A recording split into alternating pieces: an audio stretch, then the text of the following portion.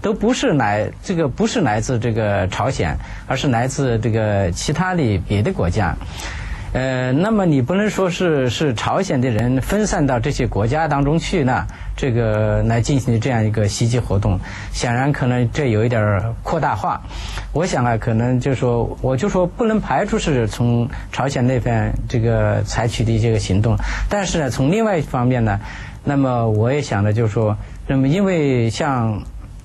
像尤其像美国这个，他可能呢在某些方面树敌过多，可能呢有些人有些对他袭击的这个国家呢，可能就会来自各个各个方面啊，这种可能性呢也是存在的。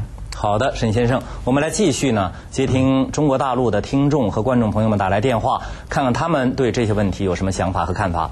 下一位是湖南的王先生，这是一位电视观众，王先生您好。湖南王先生，我表示，哎，我对沈先生这个嘉宾今天的讲话，我是有不同意见的。我认为你在好像客观上，好像你符合中国的外交主流的思想，同时这种主流思想我本人是表示质疑的。关键我觉得要看看朝鲜这个政权，金正日政权是不是道德约束、道义约束，他是不是失道法周了？所以鉴于此，他在国内呢是倒行逆施、残酷镇压。呃，没有人权，甚至人们一这个意识都得不到保证，这样疯狂扩军备战，你还提他什么主权？好，好像是他是一个正常的国家待遇应该给予他。我认为那世界上那原来的那些希特勒政权呢，没说你你东条英机，我们能够把它是一个他应该做的事嘛。所以如果撇开这一点谈朝鲜的因素，我认为是不合适的。好的，王以外。我认为国际社会现在对他的制裁，很很多方面对他的负面评价，基本上认为他是咎由自取。谢谢。好的，王先生，王先生提出了不同意见。下一位呢是辽宁的王先生，辽宁王先生，您在我们的节目里。王先生，王先生您好，您在我们节目里，请抓紧时间。好，王先生的线路不好。下一位是河北的杨先生，电视观众，杨先生您好。好，大家好，你好。我觉得现在的金正日统治下的北朝鲜，跟当年独裁暴君毛泽东统治下的中国有许多相同相似之处，因此金正日晚死不如早死。就像毛泽东如果不死，中国也不会走上改革开放之路。好，我的话完了。好的，谢谢河北的杨先生。啊，沈先生，刚看来看来呢，我们的听众观众对您提出了一些不同看法和意见，您如何评论？嗯。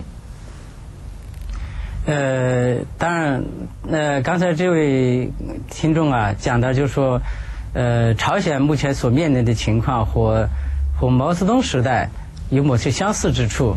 呃，应该说，在在在什么呢？比像在发展这个呃核武器上，可能朝鲜呢，呃，认因为当时呢，中国发展核武器，好像就是中国这个遭受呃包围，这个也就是说。呃，西方啊对中国进行敌视，尤其是呃美国当时和美美美国和蒋介石集团呢，就是说对对中国呢这个进行封锁。这样的话，这个当然中国也是为了打破这个核垄断，呃，打破核讹诈，这个发展自己的核武器，哪怕自己在这个三年自然灾害最困难的事情。他还在那个 发展核武器。从这个意义上来说，它有有一些这个背景上，也就是说，朝鲜呢，它现在经济也困难，它也靠。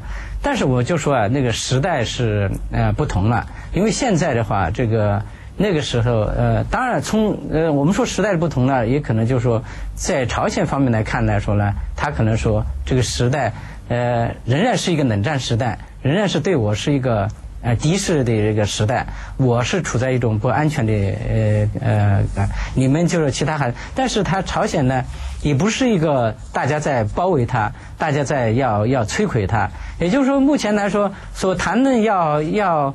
要改变、要改造、要推翻金正日政权的，也除了除了美国有有此言论呢，那周围的其他的国国家，这个也没有这种言，而且就说，呃，而且这个六方会谈呢，一方面呢，我们说说，不光是要解决这个朝鲜的这个，呃，希望朝鲜放弃这个核计划，同样也也是遏制其他的东北亚国家，包括日本、韩国。呃，也不希望他们呢能够发展这个核武器，这也是有具有具有战略意义的。好的，那么我们都知道金正日呢，他屡屡公开挑战美国这个超级大国。可是奇怪的是呢，美国至今呢，他除了坚持要求北韩啊，要求坚持外交途径来解决北韩问题之外呢，并没有做出什么啊强硬的回应。这同美国同过去伊朗萨达姆政权，还是最近呢同啊伊拉克萨达姆政权，还是还有最近同伊朗这个政权的强硬立场呢，形明形成了鲜明的对照。国际有些舆论认为美国有点欺软怕硬，啊，不知道沈先生在这个问题上是怎么看法？这的确有的时候使美国非常尴尬，您认为呢？就是奥巴马政府上台也以后啊，就说还试图。这个要改善这个美朝关系，也希望也能够希望在这个六方会谈前一阶段成果的基础上继续往前走。这个应该说呢，这个美朝关系存在着改善的可能性。但是啊，随着这个朝鲜这个这个核试验或导弹以后呢，应该说呢，这种。呃，即就是奥巴马政府想想缓和朝鲜与朝鲜的关系，也不可能的，因为我们知道美国存在着各种势力和各种声音，这个也就是说，要求对朝鲜实行严厉的经济制裁和其他的一些严厉措施的呼声比以前高了。但是奥巴马上台以后呢，呃，采用的是这个巧实力外交，他要用他的这个。还是要用这个外交智慧来来解决这个问题，也不能说呃，因为至少他们有一种分析，就是说朝鲜这样做呃是要引起这个美国的这个注意，是要吸引和美国的这个呃直接谈判。呃，显然看起来朝鲜所做的这一切，当然最后可能还是想，应该说他不可能是一直对抗下去吧？这可能是刚才我分析了不符合朝鲜的利益。那么他要。他要寻求呃呃解决办法，那么最后还是要和美，因为美国也看到了，最终你还是得要给我们谈，才能解决这个问题。所以啊，奥巴马政府他也嗯应该说不惊慌这个事情，就是说我完全可以呃通过六方会谈来解决这个问题。好的。好的，谢谢沈先生。